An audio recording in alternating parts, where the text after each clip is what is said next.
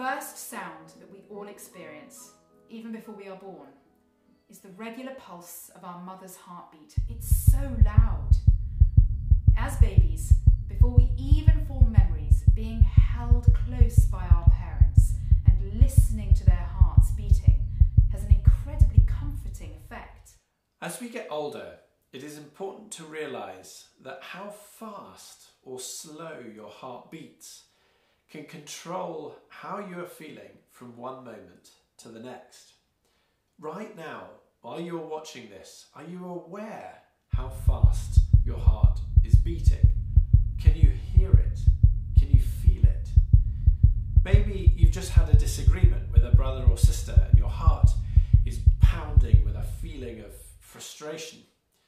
Or maybe someone has just done something kind and unexpected for you and your heart is beating slower and you're full of the warm glow that comes from friendship and kindness.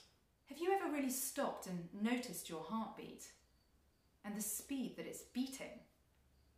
Just take a moment now and put your hand on your chest and see if you can feel or even hear your heart beating.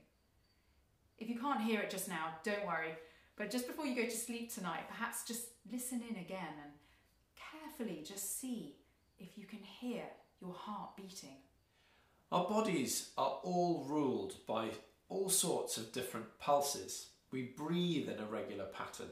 Our eyes blink every few seconds. And when we're walking somewhere, our feet stride on the ground at regular intervals.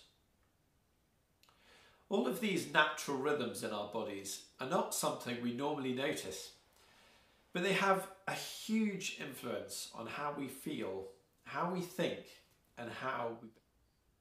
It should come as no surprise then that when we are listening to music, how fast or slow that music is can influence our thoughts and it can make us feel a certain way. Have a listen to the beginning of the variations from Tchaikovsky's piano trio and ask yourself how fast or slow do you think this is? How does the choice of tempo affect the way you feel about the music? And how do the notes convey that feeling or character?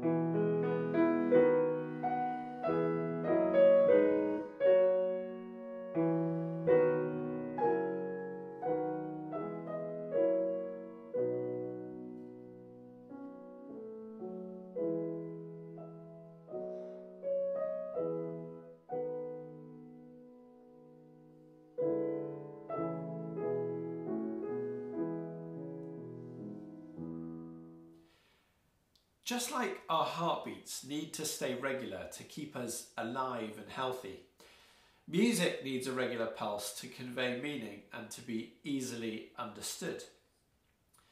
When you were listening to the piece by Tchaikovsky that we just played, you will have noticed that the pulse was quite calm and subdued. This immediately creates an atmosphere that we all understand. None of you listening would have imagined that this music was angry or that the music was excited or even panicked. Instead, you may have imagined warm sunshine, a beautiful view, or the warmth of a hug. Or perhaps you imagined something else entirely. This music is tender and it's loving music, and the tempo chosen had a big influence on how you felt when you heard it just now. The word tempo literally means time in Italian. Generally, a piece of music will have an Italian word at the beginning to give us, the performers, an idea of how the composer imagined the piece should go. Why do we use Italian? Because it's a much more descriptive language than English. For example, allegro. This tells us to play in an energetic way, making the music full of life. The closest English word would be alive, but it's usually translated as lively or even quick. There are several different musical terms that all roughly translate to mean a slow piece. Largo, it means slow, but think of the English word that it most sounds like or even looks like. Largo, large. It's not just slow, it means that the music must sound like it needs effort to move along. It's ponderous and heavy. We have to make it sound like the beats are the footsteps of a, an elephant or a hippopotamus. Large animals that cannot move quickly. Adagio is another Italian word used to describe slow movement, but it means something subtly different, literally with ease or comfortably. These are completely different ideas, which, yes, all mean that the speed is slow, but the important thing to remember is that music is all about conveying characters, and every ingredient in the music needs to support that character. The music that you've just heard is marked andante con moto, which literally means as if you are walking with motivation. It's that feeling of walking into a store when you know you're just about to buy something that you've always wanted. You're so excited to get there that you just can't help but walk just that little bit faster. Andante is normally translated as meaning walking pace, but again, the English is not that helpful because the speed at which we all walk can be different and it can be changed by your mood. So it's more important to think about andante as meaning going, moving, or getting somewhere in music. The music has to always feel like it's making progress towards a destination. As performers, one of the first decisions that we make in rehearsal when we come together for the first time is what our tempo should be. How fast or slow a piece of music should be played. Each of us usually have a slightly different opinion on exactly how fast or slow we would like to play something. And inevitably, when we start playing together, we change our minds over the first few rehearsals. Have a listen to this next extract. Does it sound familiar?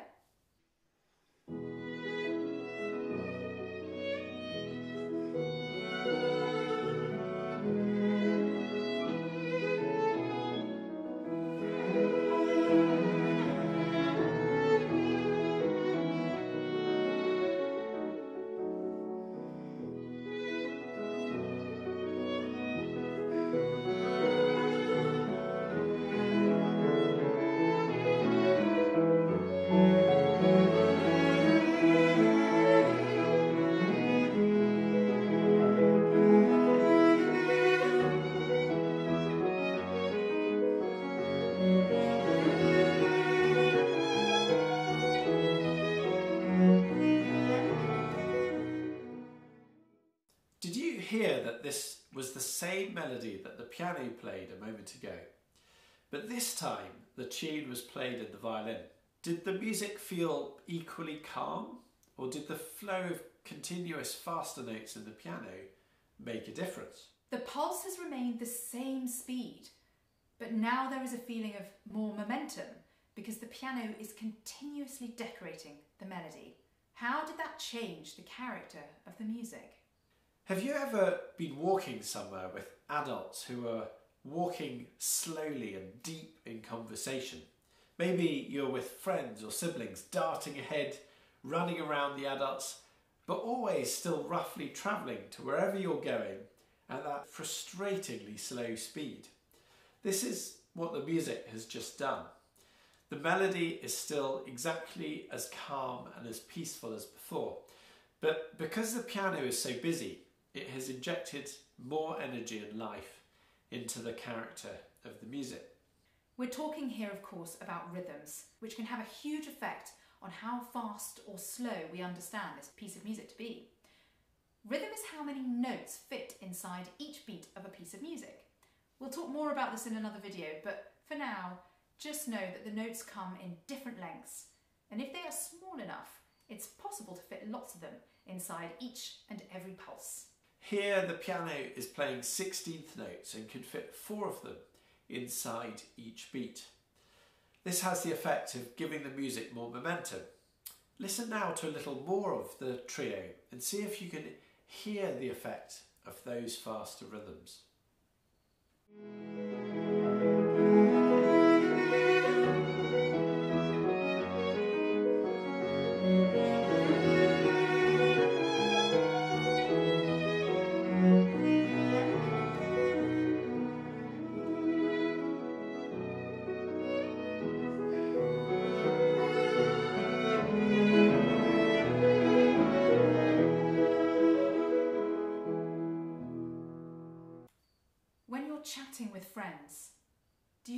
Find that the speed of your conversation can get faster? When does this happen? Is it when someone gets excited about an idea? Is it when there's a disagreement? Is it because you're running out of time and you really need to say what you need to say? Of course, it, could be all of these reasons and many more. Speech is just like music, and controlling how fast we speak can make a real difference on how we are understood. In this next extract, you will hear that it's the cello's turn to play the melody. He's obviously been impatient to have his go, so when he finally gets the chance, he pushes the pulse to a faster, more exciting tempo. As you listen to this next extract, see if you can hear what is happening in the violin and the piano parts. How do their notes and rhythms affect how fast or slow we understand this passage to be?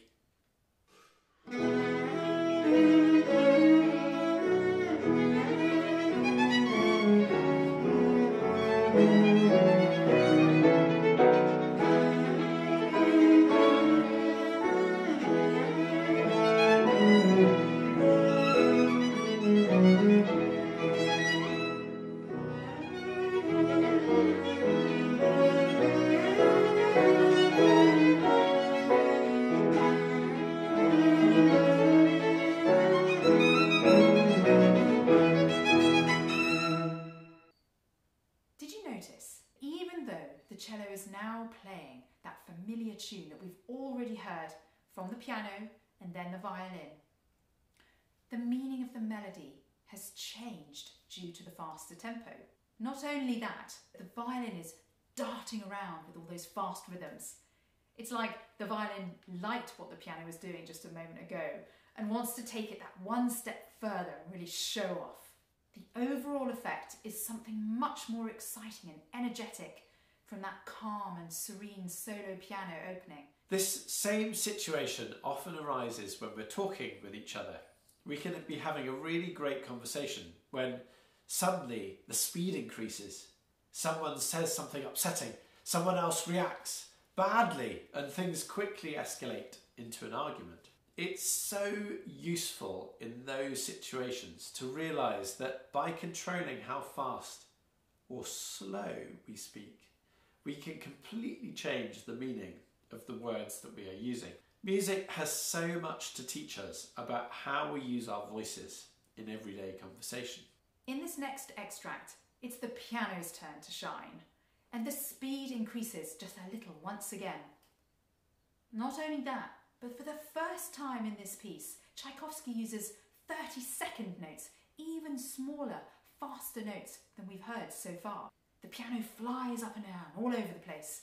So listen out to how the strings now contribute and ask yourself what is the effect of an even faster tempo and flying rhythms here?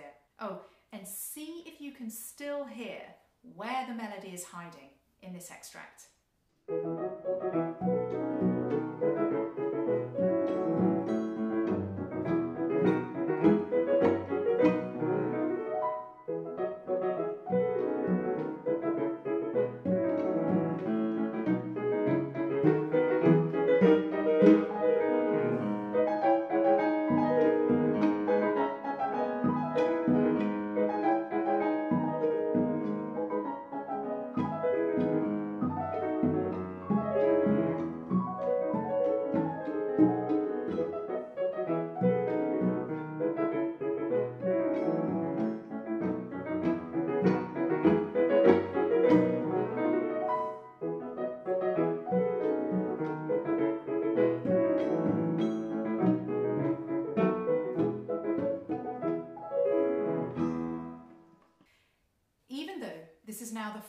Fastest tempo that we've heard so far, because the strings are plucking, something we call pizzicato, and the piano writing is so light, the mood and the character are completely different to the cello variation that we just heard. This extract is marked scherzando, which means jokingly. So here, the increased speed has the effect of making the music more light and sparkly. As instrumentalists, it's thrilling to play fast music, but you may be surprised to know that the only way to practice fast music is to prepare it slowly and carefully. You can never make something better at full speed. Instead, you have to find ways to carefully improve how your brain and how your fingers work together at a much slower tempo. It's painstaking work that needs to happen over hours and days and weeks ahead of the first rehearsal. Taking enough time and starting the work early enough is so important to our learning process. That's why we have to practice every day, so we can sleep on the work that we have done and come back the next day to discover what has improved and what still needs more work. That passage in the piano that you have just heard whizzing around took several weeks to learn at a fraction of the speed before I was able to feel confident and fluent enough to rehearse with my colleagues.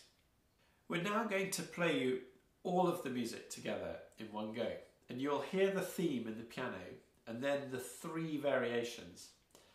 And as you listen to this now familiar piece, think about how the speed affects the character of the music and your own mood and thoughts. Music has a very powerful effect on our own heart rates. So just by listening to this music, your pulse will react one way or another. The same is true when you are talking to someone. So it's very useful to know that just by controlling the speed of your own talking, you have the power to make someone feel better in that moment.